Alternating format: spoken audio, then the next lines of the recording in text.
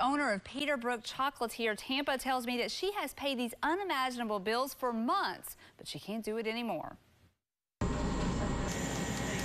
We make all the waffle cones in-house. Workers at Peterbrooke Chocolatier make tasty chocolate creations that have become popular in downtown Tampa. We got a regular hand washing sink that's a three quarter inch sink. One thing owner Jennifer Hill says they don't need a lot of is water. Because chocolate and water do not mix. Uh, we use extremely hot water to sanitize the floors and the countertops and things like that. So that's about maybe a gallon of water there.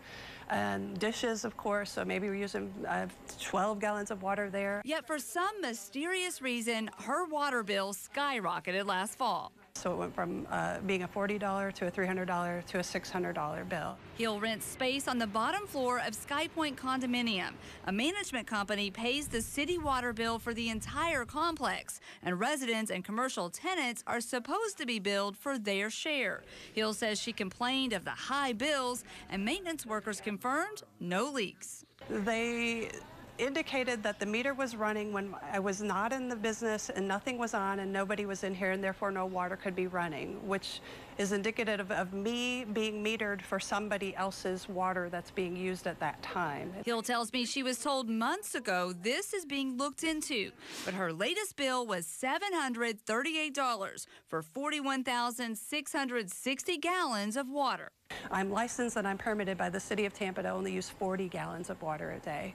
I don't I don't have pipes big enough to run 40,000 gallons of water, even if I left every pipe on all day, every day. Fearing she'll have to close her store, Hill called me so I can do what I do. Does not seem logical that this chocolate company would have used 41,660 gallons of water in just one month. I reached out to the president of the Condo Association, which oversees water metering, and he tells me he agrees. The chocolate store's water bills don't seem right. He promised an investigation to find out what's wrong. I'm more than happy to pay my fair share, but I can't pay for everybody else.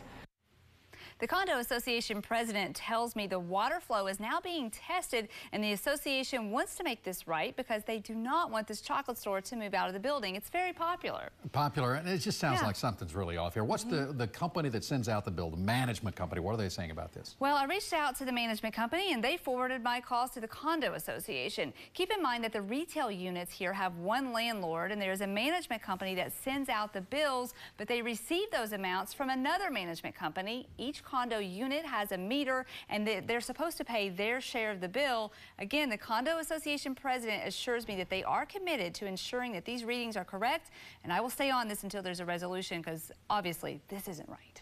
I sense one coming. Mm -hmm. I look forward to your follow-up report. Shannon, thank you. And if you have a problem that needs solving, you better call Behnken. The number, 1-855-BEHNKEN, or you can always reach her on Facebook. There it is, at WFLA. Shannon.